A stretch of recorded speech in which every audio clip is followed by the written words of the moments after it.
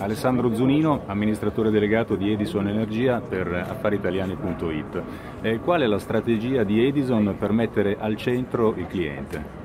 Eh, ci stiamo concentrando prevalentemente su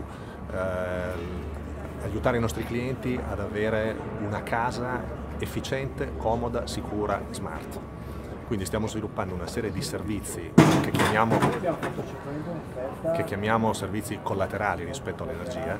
eh, che appunto accompagnino la, la, la, solita tradizionale fornitura di energia elettrica e di gas che permettono ai nostri clienti di avere un maggior controllo sulla propria abitazione e sugli apparecchi che l'energia la consumano. Faccio un esempio, il, tra il 60 e il 70% dell'energia in casa è consumata da riscaldamento per riscaldare o fare freddo, quindi riscaldare caldaia o condizionatori.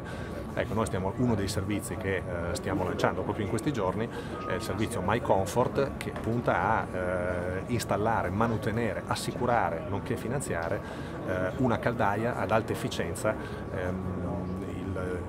la stragrande maggioranza del parco eh, di caldaie italiano è abbastanza vecchio, solamente il 20% delle caldaie è a condensazione, con una nuova caldaia ad alta efficienza si può arrivare a risparmiare anche il 30%. Ecco, noi vorremmo che i nostri clienti la caldaia la cambiassero prima che si rompa e quindi cerchiamo di venire incontro con dei servizi di finanziamento, di assicurazione, di gestione o l'inclusive della caldaia eh, per farli risparmiare prima. Certo, lo stesso smartphone sta diventando sempre di più una sorta di centrale di controllo dei propri elettrodomestici dei consumi energetici e, e,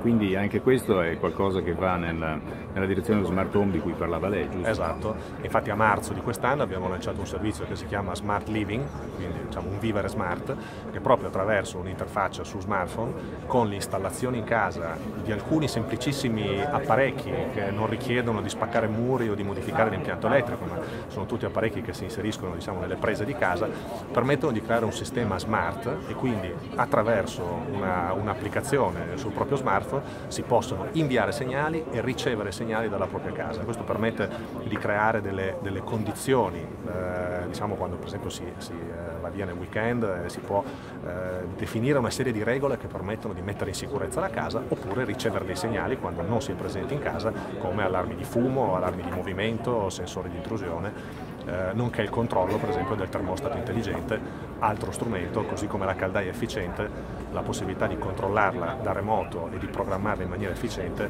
è un naturale eh, e importantissimo elemento per ridurre di molto la, la bolletta di casa.